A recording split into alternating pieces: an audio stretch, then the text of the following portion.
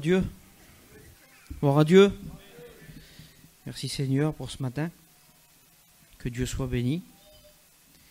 Inutile de vous dire que j'ai peur. Les prédicateurs savent euh, combien c'est impressionnant de parler de la part de Dieu. Et puis il y a un mot qui était, qui était lourd, hein, qui était lourd à porter ce matin. Le mot étude. Seigneur, je dis, ils vont plus arrêter. C'est pas une étude ce matin. Et je voudrais, euh, je voudrais ce matin, moi, rester dans, ce que Dieu a commencé hier au culte. Et il y a deux choses qui sont ressorties hier dans le culte qui m'ont vraiment encouragé. C'est la simplicité du message d'hier. Et il faut rester simple. Et le deuxième mot, je me sers, je m'appuie sur, euh, sur ce qui s'est passé hier. Ce qui s'est passé hier, moi, ça m'a donné une grande leçon. C'est que Dieu bénit abondamment dans la simplicité. J'ai été béni hier du message, vous ne pouvez pas vous imaginer. Et puis le frère Johnny a dit un mot avant la prédication, et je m'appuie sur les mots-là aussi. Et je crois qu'aujourd'hui, notre peuple, on a besoin de le prêcher partout, ça. On n'a pas besoin de beaux messages. On a besoin d'un mot de Dieu. Et c'est toute la différence. Vous savez, euh, Aujourd'hui, euh, je vais en parler ce matin dans, ce que Dieu a mis sur mon cœur. J'ai un message que Dieu a mis sur mon cœur ce matin. J'en suis convaincu et je vous remercie d'être venus si nombreux. Mais ce matin, moi, voilà, le thème de mon message, ou le but, la direction, je ne sais pas, il n'y a pas de début, il n'y a pas de fin. Je l'ai su hier et puis je suis content de ne pas l'avoir su 5-6 jours avant parce que ça m'aurait tout emmêlé. J'ai des notes ici, tout n'est pas rangé, tout n'est pas cadré, mais je sais que Dieu veut nous dire quelque chose. Et je crois que c'est le principal ce matin. Le principal, c'est de saisir le mot de Dieu. Et puis j'écrivais euh, sur, euh, sur, ce papier-là, j'écrivais hier, et je me disais, Seigneur, c'est bien que je fasse la première réunion du matin. Ça tombe bien, Johnny. Ça tombe bien parce que ce que Dieu a mis sur mon cœur, c'est un conseil pour tout le déroulement de la mission et aussi quand on va rentrer dans nos églises. C'est-à-dire, c'est un mot qu'il faut prendre aujourd'hui il faut le saisir dans nos cœurs, il faut l'appliquer, et surtout, il faut le garder ici, là, même quand le chapiteau sera fini. Quand le chapiteau sera plié, il ne suffit pas de plier notre vie chrétienne avec le chapiteau. Non, au contraire. Je prends tout ce qu'il y a à prendre dans la mission Rhône-Alpes. Et puis tout ce que j'ai là, je le prends comme un trésor. Et je le mets dans mon cœur, mais pour l'appliquer quand je vais partir d'ici. Et voilà le thème de mon message ce matin. Le but, c'est que faire quand Dieu nous parle.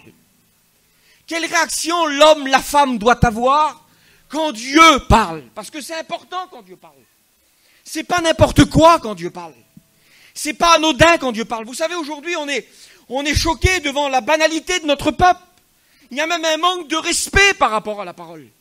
Puisqu'aujourd'hui, que ce soit dans nos grandes conventions, dans les réunions du matin, là, vous allez le voir tout à l'heure, on est comme ça aujourd'hui. Dieu parle par un serviteur, par la parole de Dieu, et puis ça ne nous dérange pas. Quelques minutes après que Dieu ait parlé, ça ne nous dérange pas de se lever, même avant la fin de la réunion. Mais pourtant, c'est important quand Dieu parle. Et il faut avoir un saint respect pour la parole de Dieu. Il faut s'attacher à ce que Dieu a dit. Quand vous écoutez un message, méditez-le. Calculez, réfléchissez. Essayez de prendre tout ce que vous avez besoin dans le message. Mais ça ne se fait pas en deux minutes, ça. Il faut écouter le message et il faut le faire descendre dans nos cœurs. Et il faut ensuite le mettre en pratique. je vais vous parler de la mise en pratique. Alors j'ai écrit Que faire quand Dieu nous parle? J'ai écrit Pleurer ne suffit pas. Pourtant c'est important quand, quand Dieu vous a dit un mot qui vous concerne dans la réunion et qui vous a touché dans le, dans le secret de vos cœurs. Eh bien pleurer ne va pas suffire. Cette réaction-là ne suffit pas. Tu peux pleurer. Mais c'est pas assez pour Dieu. Les hommes et les femmes qui pleurent, je vous dis pas de pas pleurer dans la réunion, mais, mais pleurer, mais il faut que vos, vos, vos pleurs soient accompagnés à l'obéissance de la parole. On pleure, c'est bien, mais il y a un plus. Pleurer ne suffit pas. Remercier Dieu de nous avoir parlé ne suffit pas, mes frères et sœurs. Il y a quelque chose d'autre à faire quand Dieu nous parle. Et puis il y a un homme dans la parole de Dieu, je vais rentrer dans mon message, il s'appelle Ézéchiel, il fait partie des quatre grands prophètes de la Bible, Ézéchiel, Jérémie, Ésaïe, Daniel. je voudrais vous parler d'Ézéchiel quelques minutes pour vous faire comprendre l'homme qu'il était. Ézéchiel fait partie des quatre grands prophètes et, et au niveau de son message, il n'y avait aucun problème. Un homme de communion avec Dieu, un homme qui recevait des grandes prophéties, les grandes lignes de la parole de Dieu, il prophétisait des choses exceptionnelles, c'est normal, c'était un prophète. Il était dirigé par Dieu, Dieu lui parlait, et lui, il avait le but, comme tout, comme tout prophète de l'époque, transmettre le message au peuple. Ézéchiel, pour vous expliquer, c'est un grand prophète, c'est un homme qui a des révélations, c'est un homme qui a des messages avec exactitude. Il ne se trompe pas dans ses messages. Il a animé de Dieu, Ézéchiel. Ézéchiel, c'est un homme qui a reçu, par exemple, je vous donne une, image des messages qu'il recevait, mais quand vous lisez Ézéchiel 37 et que vous voyez la vallée des ossements, Seigneur, quel homme de l'esprit, quel homme de Dieu, une vallée remplie d'ossements et Dieu lui parle. Et il lui dit, Ézéchiel, prophétise sur ses os. Et quand Ézéchiel va prophétiser sur ses os, vous connaissez l'histoire, les squelettes vont se former, les nerfs vont pousser, les muscles, la chair, la peau. Seigneur, quel homme avec un message, quel homme d'autorité, quel homme quel homme rempli de Dieu, quel homme avec le message de Dieu, tout simplement. Pas plus que les autres prophètes, mais un homme qui est dans la parole de Dieu. Ce qu'il nous faut aujourd'hui, c'est être ancré dans la parole de Dieu. Ézéchiel, il, prophétise pratiquement tout le parcours des Juifs quand on lit Ézéchiel 5. Et qu'on se rend compte qu'il est capable de prophétiser les Juifs qui sont partis dans les camps de concentration, les Juifs qui sont rentrés dans les fours, les Juifs qui ont été massacrés, les Juifs de la diaspora, il, prophétise exact. C'est un homme exceptionnel au niveau de la parole, Ézéchiel. J'ai écrit ici, Ézéchiel n'a pas de problème avec Dieu. Et Dieu n'a pas de problème avec Ézéchiel. Le message passe entre Dieu et Ézéchiel. Il n'y a rien qui varie. C'est un homme qui reçoit de Dieu et qui transmet ce qu'il a reçu de Dieu. C'est ce que Dieu nous demande à nous ce matin. Mais par contre, Dieu qui connaît tout parfaitement, Dieu qui connaît chacun de nos cœurs, il va révéler quelque chose à Ézéchiel pour peut-être lui faire gagner du temps, je ne sais pas. Mais Dieu va dévoiler l'auditoire d'Ézéchiel. C'est-à-dire que Dieu va lui dire, entre toi et moi, il n'y a pas de problème. Le message passe, le courant passe. La communion est parfaite. Mais par contre, Ézéchiel, je suis obligé de te transmettre quelque chose. Il y a un peuple qui écoute les paroles que tu dis. Et j'aimerais vous faire la lecture ce matin. Ce peuple nous ressemble étrangement. Et je suis obligé de vous le lire ce matin.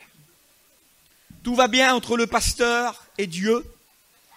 Mais Ézéchiel 33 au verset 31, regardez, et c'est nous. C'est ni plus ni moins que nous ce matin.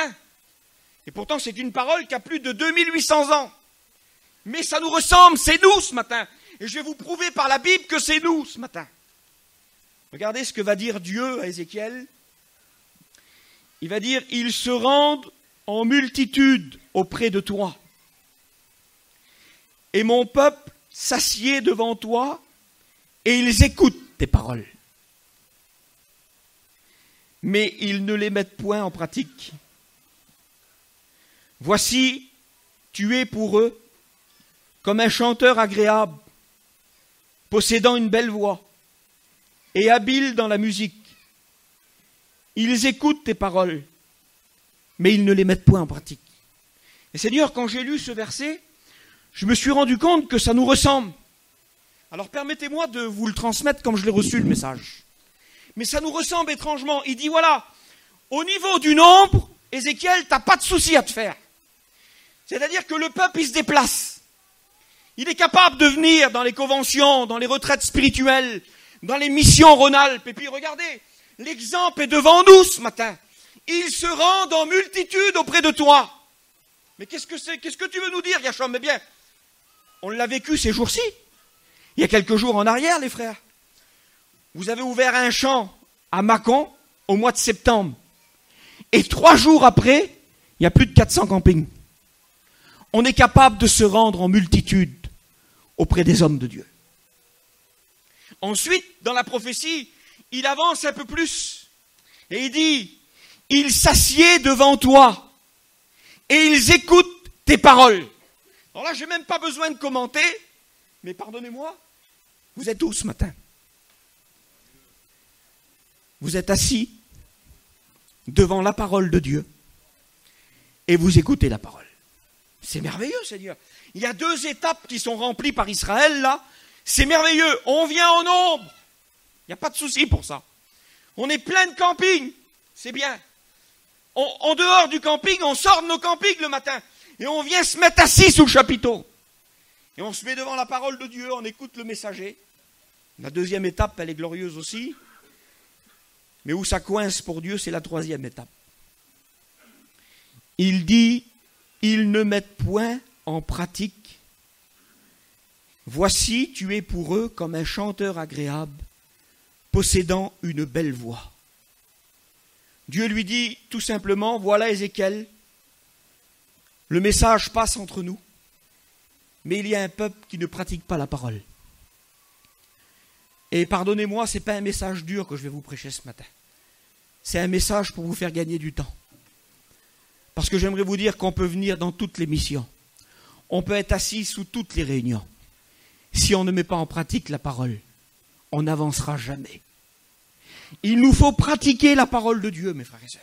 Mais c'est quoi pratiquer, Yacham? Le mot pratiquer, j'ai regardé dans le dictionnaire, il dit, c'est mettre à exécution une prescription. C'est-à-dire, j'ai reçu une ordre, mais je ne vais pas simplement la garder, l'ordre. Je vais essayer de faire ce qui est écrit dessus. Sinon, ça ne marchera pas. J'ai écrit ces mots-là, que Dieu soit béni ce matin. Israël répondait présent au fait de l'Éternel.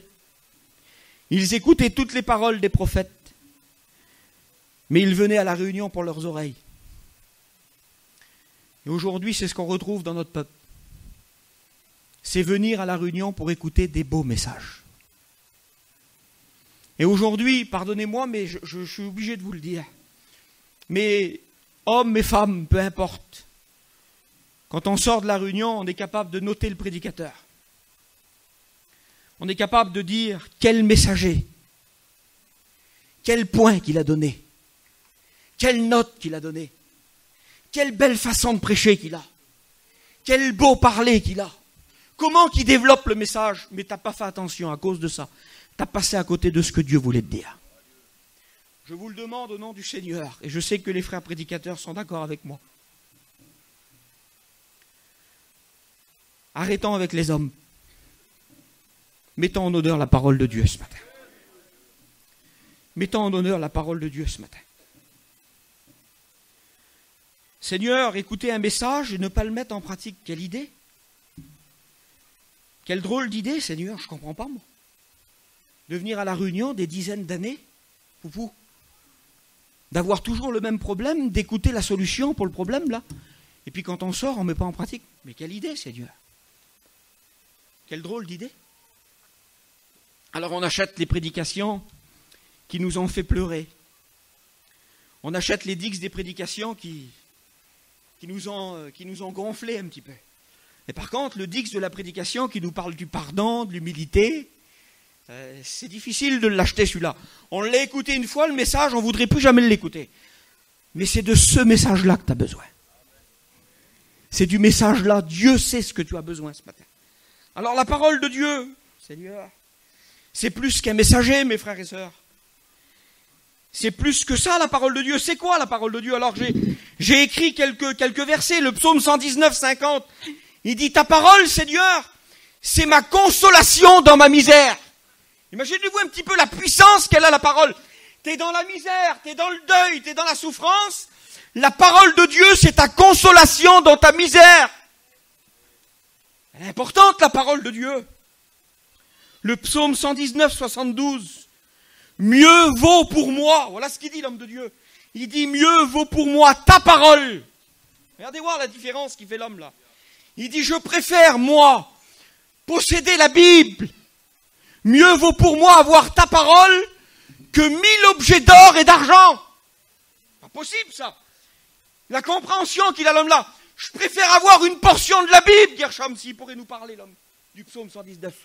Je préfère avoir dans mon placard la parole de Dieu que plutôt avoir mille objets d'or et d'argent. Mais pourquoi? Explique-nous. Parce que quand j'ai la parole, j'ai la solution. Parce que quand j'ai la parole, j'ai l'explication. Parce que quand j'ai la parole, j'ai la révélation. Parce que quand j'ai la parole, j'ai la connaissance. Et pour moi, mieux vaut la Bible dans un placard et que je la lis et que je la vis que mille objets d'or et d'argent. La véritable richesse au milieu de nous, mes frères et sœurs, c'est la parole de Dieu.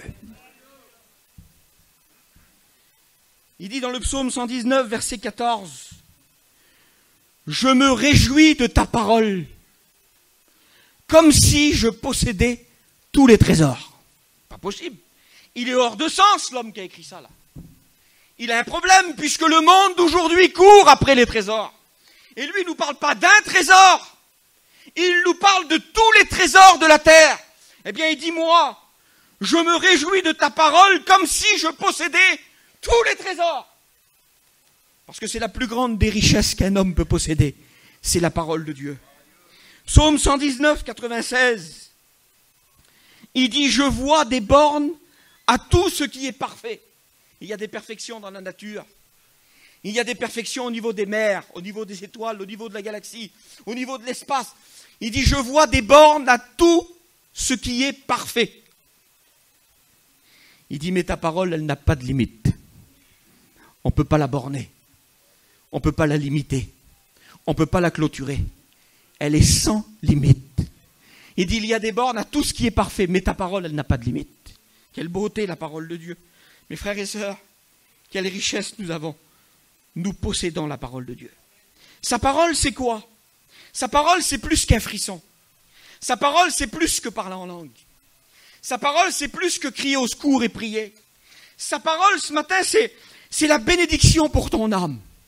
Sa parole, ce matin, c'est la réparation de ton foyer. Sa parole, ce matin, c'est la solidité de ta maison. Sa parole, ce matin, c'est la bénédiction qui va découler sur tes enfants. C'est la parole de Dieu qui doit être prioritaire au milieu de nous. Et non pas les hommes, les messagers. Le mot de Dieu suffit, mes frères et sœurs. Moi, j'ai la grâce tous les ans d'aller un petit moment à l'école biblique là-bas avec mon oncle Michel. Et je vous le dis devant Dieu que c'est vrai. J'assiste aux réunions des étudiants première année, deuxième année, pendant une quinzaine de jours. Je suis béni. Mais comment je suis béni?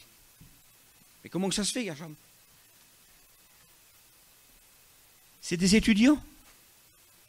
Ils ne savent pas lire et écrire presque. Ah oui, mais c'est des hommes de la parole. C'est des hommes animés de la parole. Et que Dieu soit béni pour cela. Il faut venir à la réunion ce matin pour écouter Dieu parler. Il faut écouter Dieu parler. Dieu parle, je n'en doute pas. Écouter la parole, c'est bien, mais la mettre en pratique, quelle beauté, Seigneur. On demande à Dieu de nous parler. Alors j'ai écrit ça ce matin, puis je dis Seigneur, je suis obligé de le dire. On demande à Dieu de nous parler. Je fais une appel ce matin. Qui voudrait ce matin que Dieu lui parle? Levez la main. Je vais faire la même appel à la fin de la réunion.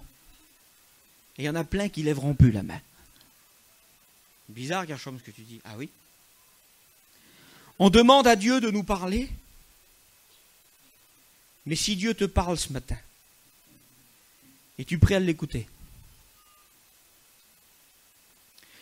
Dieu peut te dire ce matin ce que tu as besoin d'entendre, pas ce que tu as envie d'entendre. Parce qu'aujourd'hui, on vient à la réunion pour écouter ce qu'on a envie d'entendre.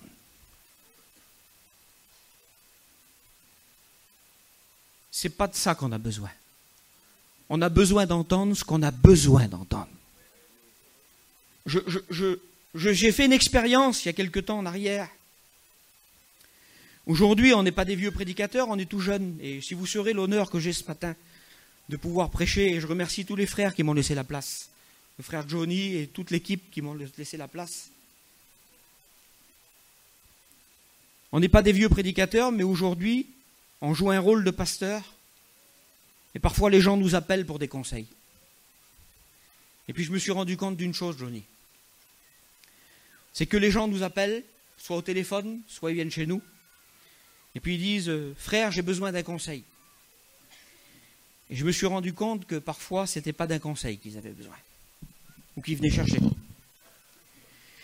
Ils venaient plutôt chercher une autorisation, quelque chose qui valide leur état, quelque chose qui valide le plan qu'ils avaient conçu dans leur esprit.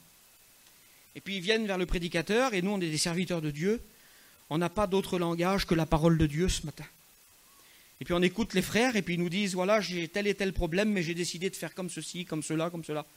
Et puis nous, avec la parole de Dieu, parfois ça va, parfois les gens sont dans la note, et parfois les gens ne sont pas dans la note. Et notre rôle de serviteur de Dieu, c'est pas de se faire des amis, c'est de dire la vérité.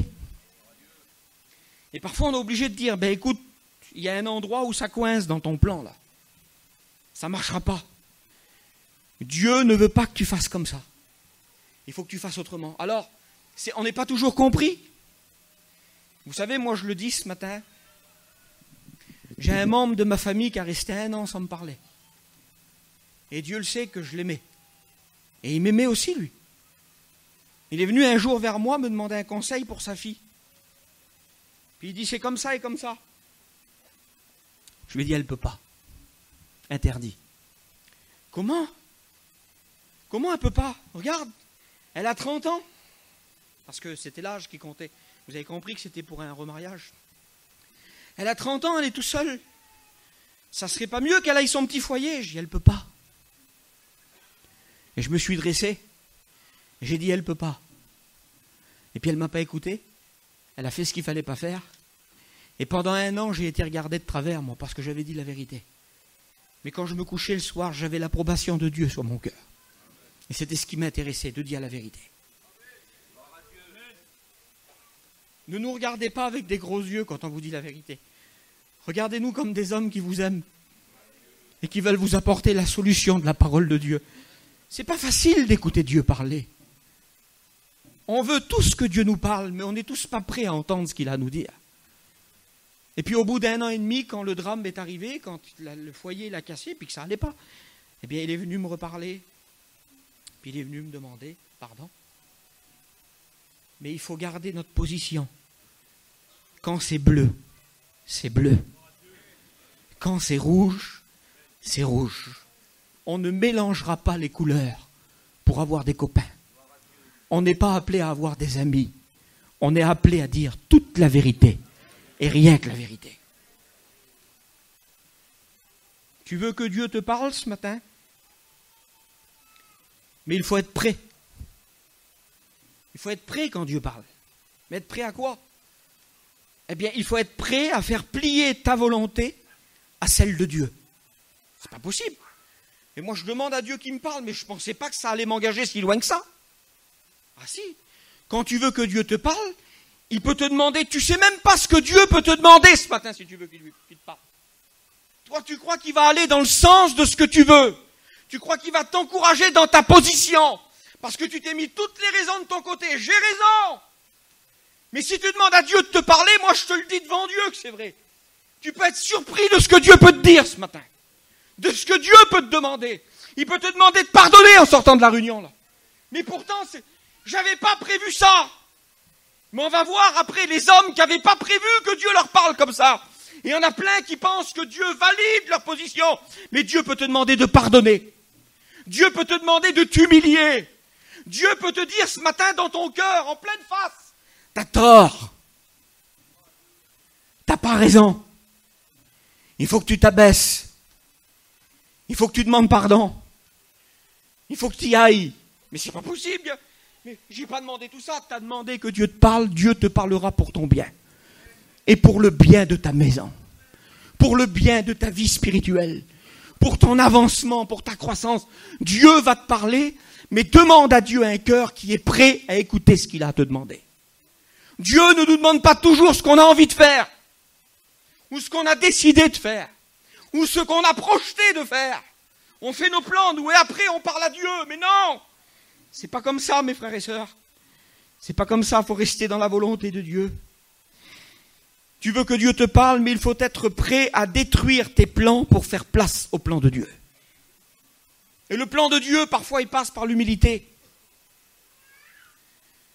Parfois, il faut le faire, mais on n'aime pas le faire. On est des hommes.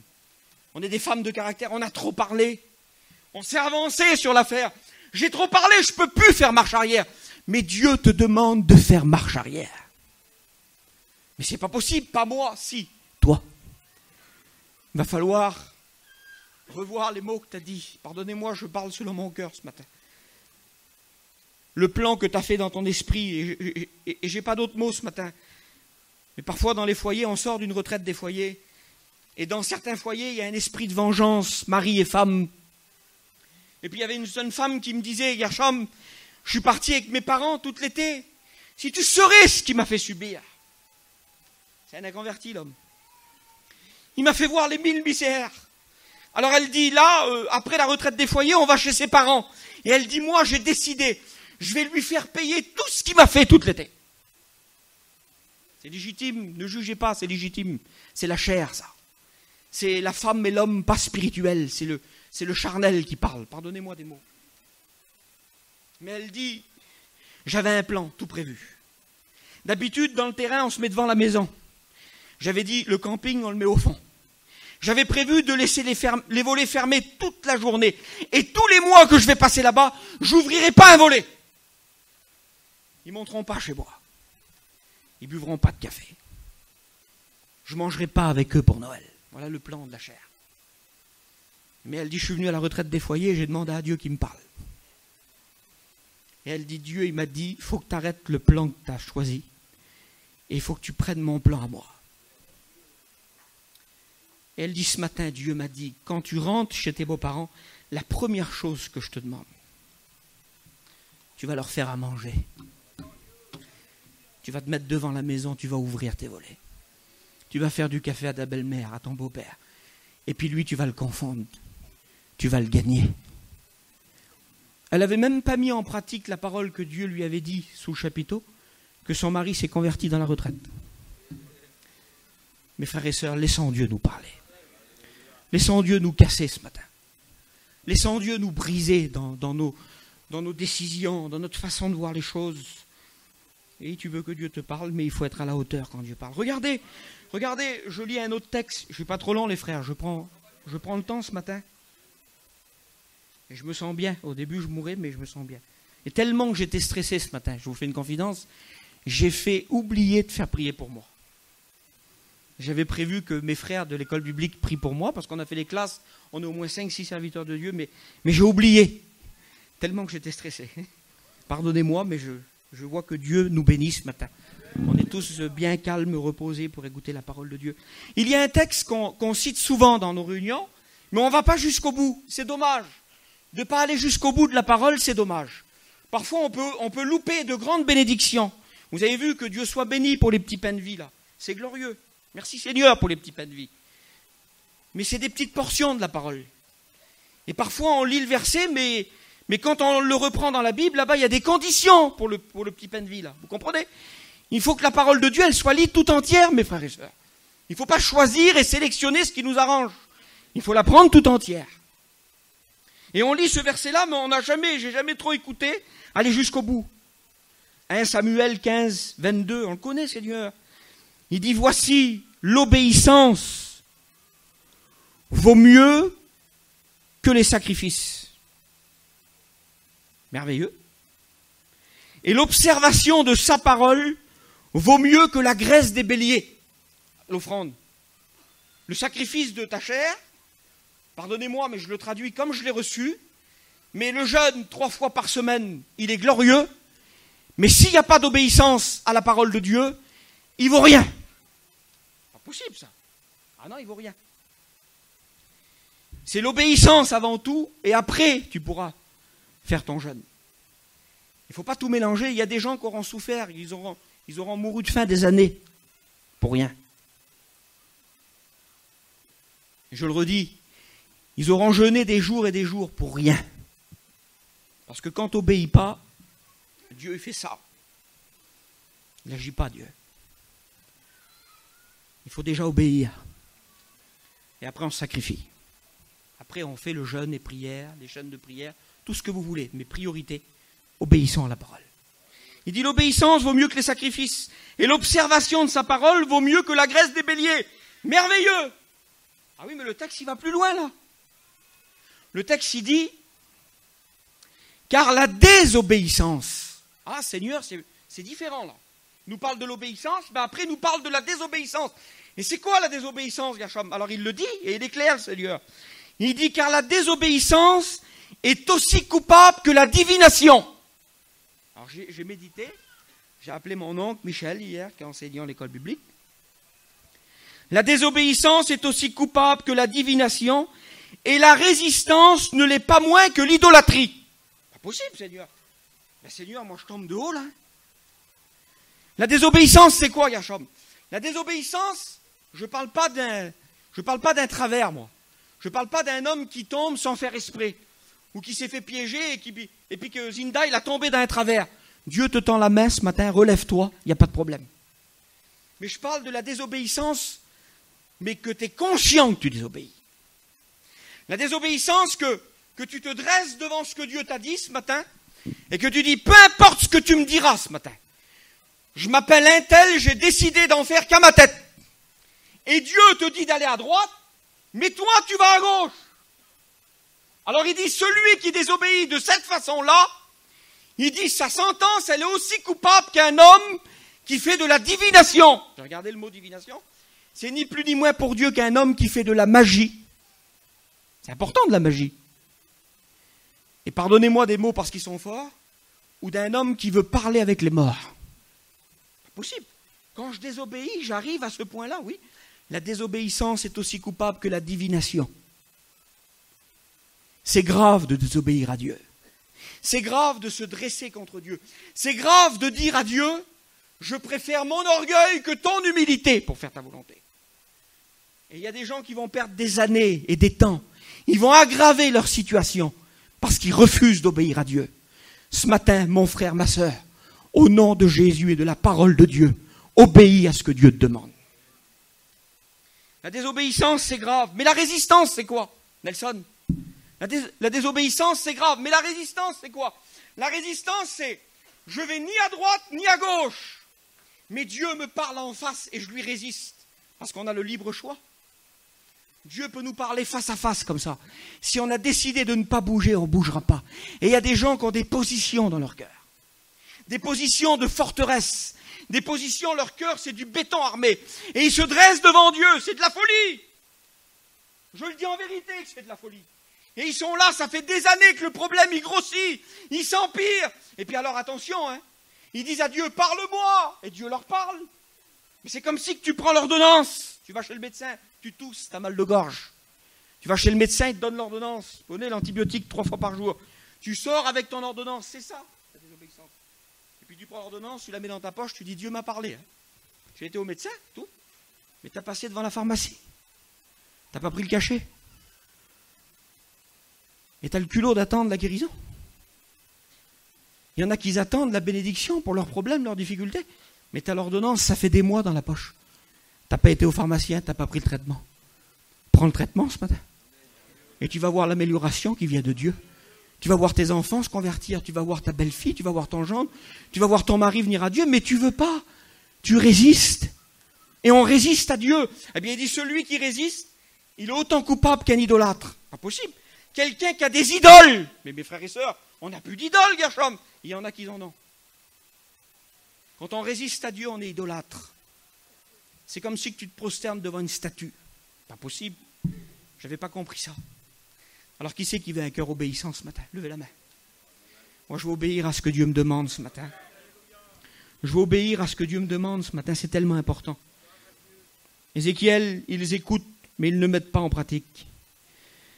Pratiquer, vous savez ce que ça veut dire? Ça veut dire mettre en application une prescription, l'ordonnance. Pratiquer, il veut dire accomplir. Pratiquer, il veut dire adopter. Pratiquer, il veut dire consommer. La parole de Dieu, il faut faire comme le prophète Jérémie. Il faut la dévorer. Il faut la manger, c'est la bénédiction pour nos foyers, mes frères et sœurs. Dieu parle. Vous le croyez que Dieu parle? Vous croyez que Dieu parle? Moi, hier, avant le culte, je suis parti un petit peu. J'ai prié le Seigneur, j'avais un besoin dans mon cœur de chrétien, parce qu'on est des chrétiens avant d'être des pasteurs. J'ai dit Seigneur, j'aimerais tellement ce matin dans le culte que tu me parles. Et puis je me suis mis assis, j'ai chanté les louanges à Dieu. Et quand Gaston a pris la parole, tac, le mot de Dieu est tombé dans mon cœur. Dieu parle. Vous ne pouvez pas dire que Dieu ne parle pas. Je voudrais vous expliquer une expérience que j'ai vécue. Dieu peut se servir de n'importe quoi pour parler? Il a fait parler un âne. Je vais vous expliquer une expérience que j'ai vécue. Dieu m'a parlé à moi à travers un chien. Pas possible, Gershom. Je vous explique l'expérience. Je vais vous détendre ce matin. Et quand Dieu décide de parler, rien ne peut l'arrêter. Je suis responsable avec des frères d'une église dans l'est de la France, un petit pays qui s'appelle Lure. Il y a six ans que je suis responsable de l'église, et il y a trois ans, j'ai vécu un découragement. Je me suis placé devant Dieu au début de l'été, puis j'ai dit Seigneur, voilà, je voudrais me remettre en question par rapport à l'église. Est-ce que je suis à ma place Est-ce que je ne suis pas à ma place? Puis j'ai parlé à Dieu. J'ai dit Seigneur, je me place devant toi toute l'été. Mais dis-moi ce que j'ai à faire. Vous savez ce que j'ai fait avant? J'ai dit à Dieu, peu importe ce que tu me diras, je le ferai. Mais c'était c'était important parce que si le Seigneur il me disait sors de l'église, j'avais prévenu les anciens de l'église, j'avais dit les frères, je vis une expérience, j'attends que Dieu me parle. Si Dieu me demande de rester en place, je reste en place.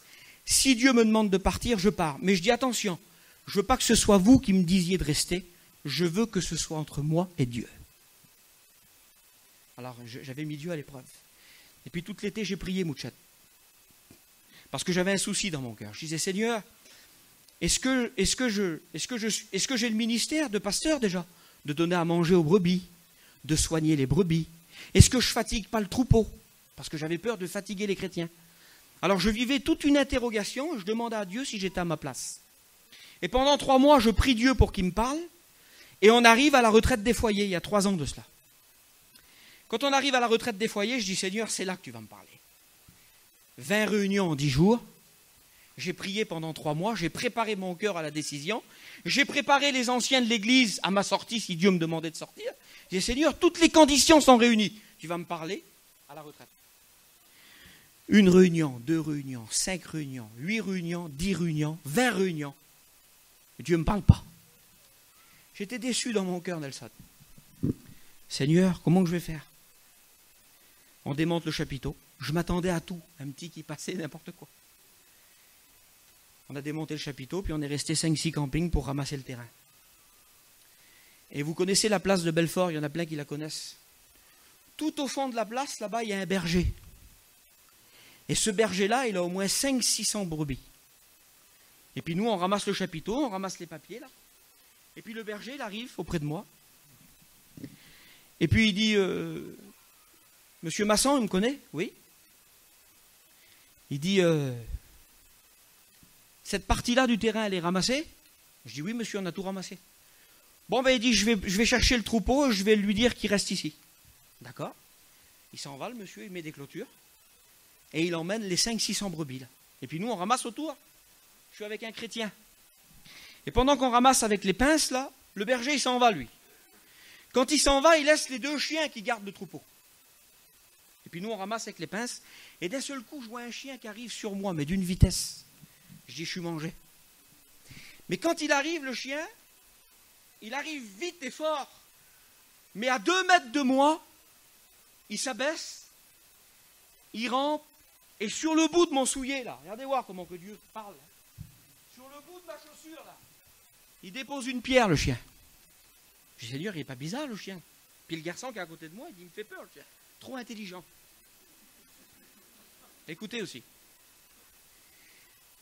Le chien repart, il revient d'une vitesse. J'ai dit, Seigneur, il va nous rentrer dedans. Et quand il me voyait, il se baissait, il rampait, et il posait la pierre sur le bout de mon soulier.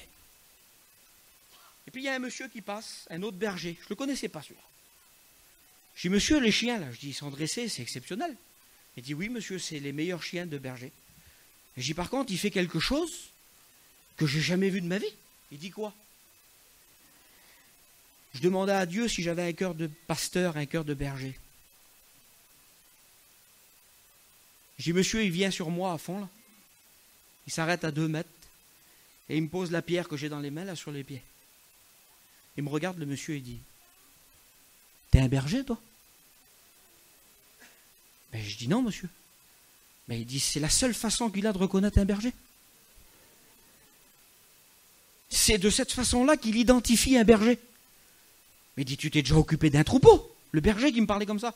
Je dis non. Alors il dit, il a vu en toi les caractéristiques du berger. Dieu venait de me parler à travers un chien. Et il y en a qui disent, Dieu ne me parle pas, moi. Dieu ne me parle jamais. J'aimerais vous dire que nous avons un Dieu qui parle. Dieu sait se faire comprendre. Dieu parle à la perfection. Je vais un peu plus loin. Voulez-vous écouter ce que, Jésus a dit sur ceux qui pratiquent la parole Vous voulez qu'on l'écoute deux minutes? Regardez ce qu'il a dit, le maître des maîtres. Le Seigneur des seigneurs qui parle. Et que c'est beau. Luc, chapitre 6, verset 47. Il dit, je vous montrerai à qui est semblable tout homme qui vient à moi, entend mes paroles et les met en pratique. Il est semblable à un homme qui, bâtissant une maison, a creusé, creusé profondément et a posé le fondement sur le roc. Une inondation est venue et le torrent s'est jeté contre cette maison sans pouvoir la faire bouger parce qu'elle était bien bâtie. Le Seigneur, il est en train de dire là, je vous montrerai. C'est un engagement de Jésus. En voulant dire, je ne les cacherai pas. Ils ne seront pas dissimulés, les hommes qui vivent, qui pratiquent la parole. Au contraire, vous allez vite les identifier, les hommes du Seigneur. Les hommes qui mettent à exécution ce qu'ils entendent. Il dit, il dit, moi, Jésus, je m'engage. Je vous les montrerai.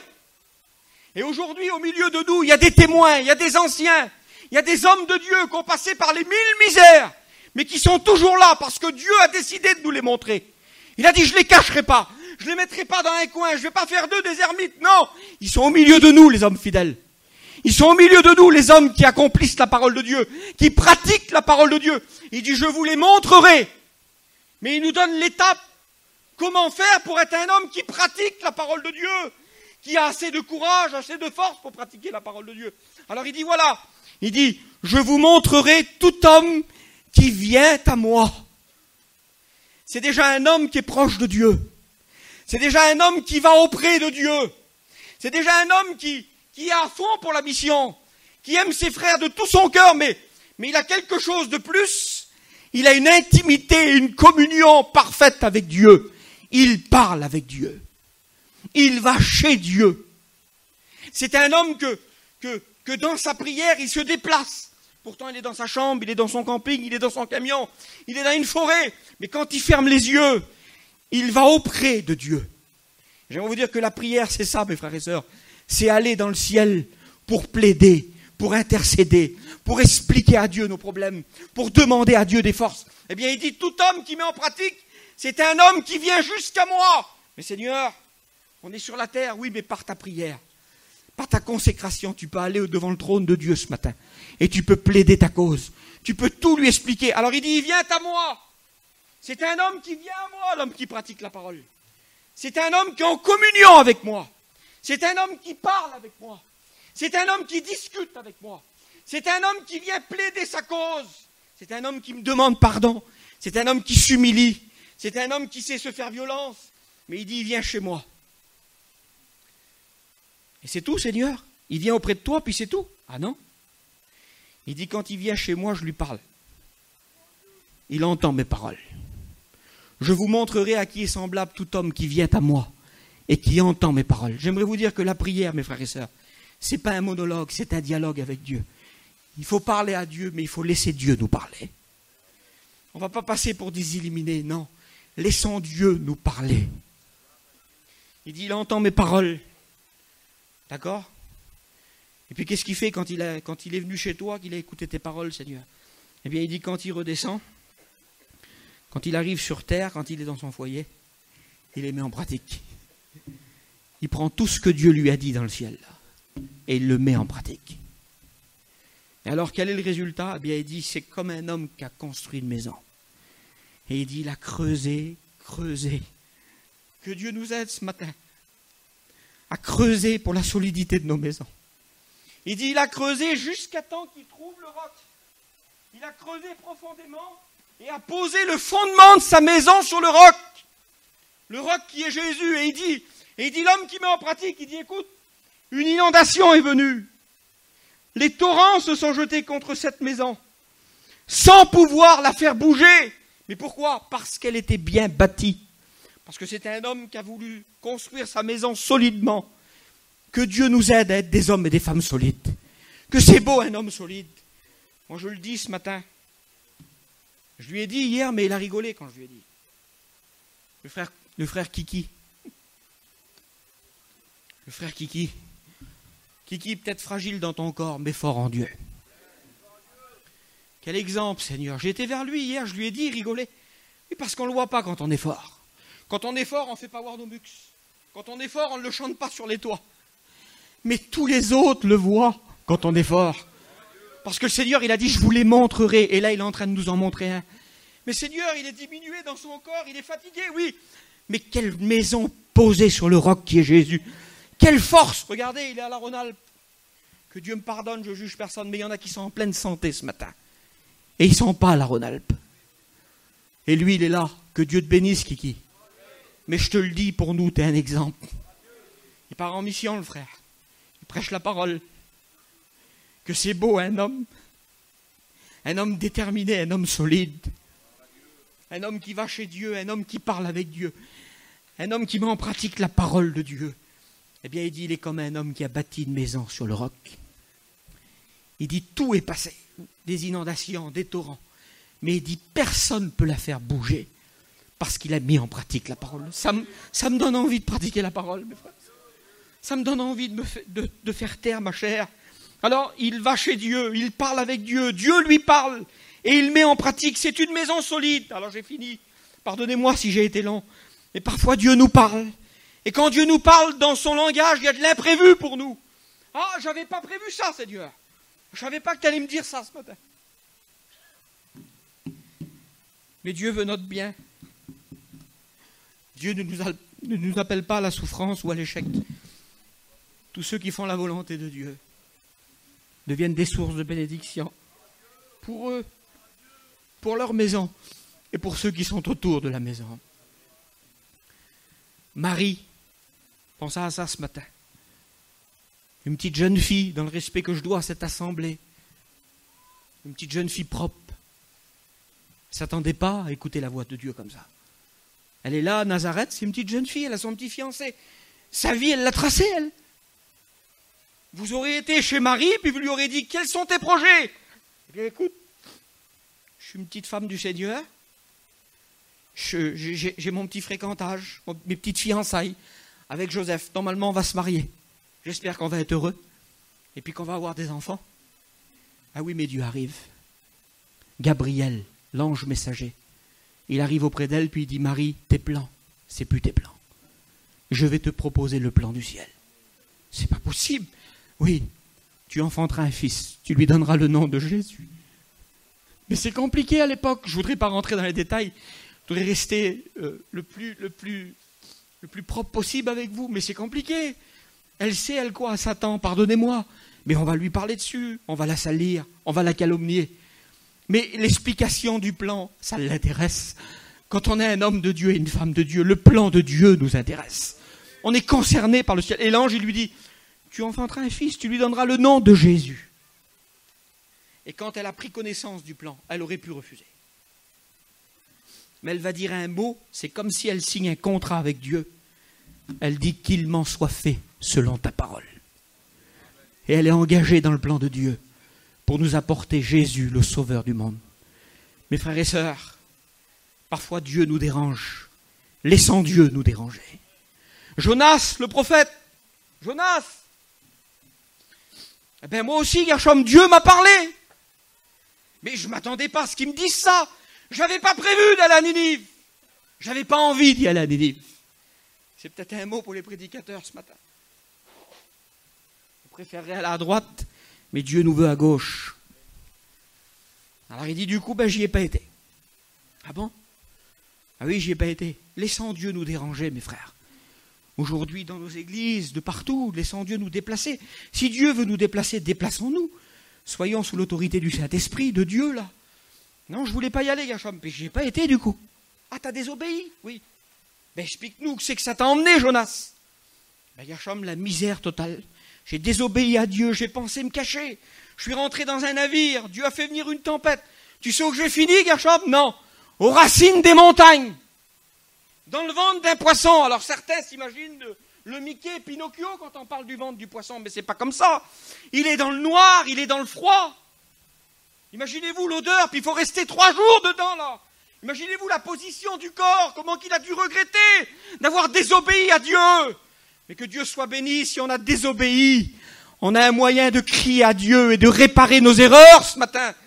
Il a dit du sein du séjour des morts, j'ai crié, et de ton temple tu as écouté ma prière.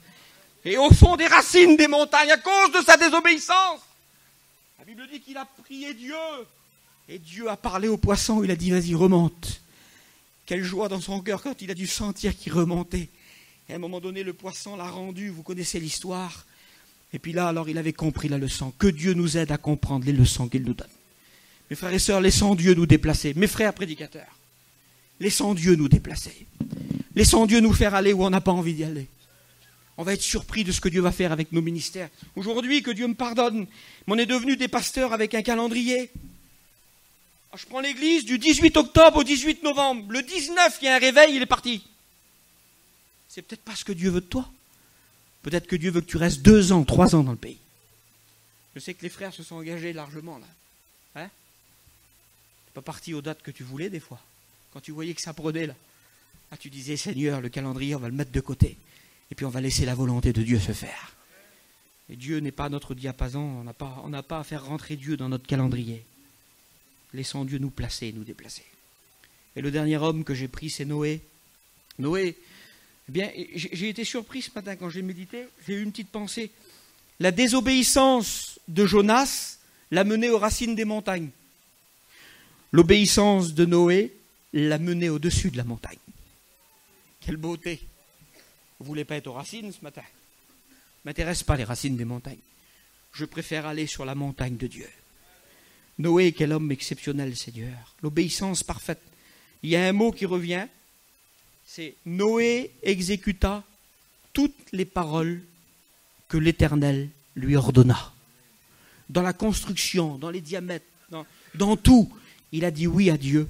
Et puis quand il est arrivé sur le mont Arara qui se trouve en Turquie, et puis que d'un seul coup la porte de l'âche s'est ouverte, quelle beauté Seigneur, et qu'il est descendu, j'en suis sûr qu'il a dû dire, ça valait le coup de souffrir ces 80 ans de construction. Regarde ma femme, on est là tous les deux, nos trois fils et nos belles-filles, mes frères et sœurs obéissants. Voulez-vous compris, Seigneur, maintenant? L'obéissance vaut mieux que tous les sacrifices. Au nom de Jésus, obéissez pour que ça avance. Je vous lis l'épître de Jacques, Jacques 1, 22. Mettez en pratique la parole et ne vous bornez pas à l'écouter, en vous trempant vous-même par de faux raisonnements. Car si quelqu'un écoute la parole et ne la met pas en pratique, il est semblable à un homme qui regarde dans un miroir son visage naturel et qui après s'être regardé s'en va et oublie aussitôt comment il était. Mais celui qui aura plongé les regards dans la loi parfaite, la loi de la liberté, et qui aura persévéré, n'étant pas un auditeur oublieux, mais se mettant à l'œuvre, celui-là sera heureux dans son activité. Obéissons à la parole de Dieu. Voulez-vous qu'on se lève ensemble? Et nous allons prier le Seigneur un instant